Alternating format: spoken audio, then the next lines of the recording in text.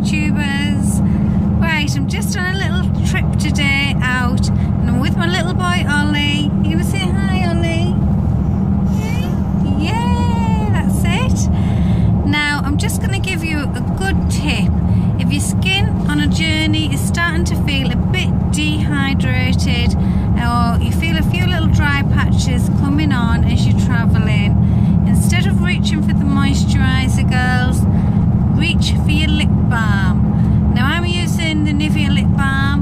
any will do basically anywhere that you feel your skin's a bit dehydrated a bit dry just pop the lip balm on oops bumpy road here guys just pop it on and you'll find your skin feels really smooth and hydrated very quickly have a great day youtubers bye for now Eating bye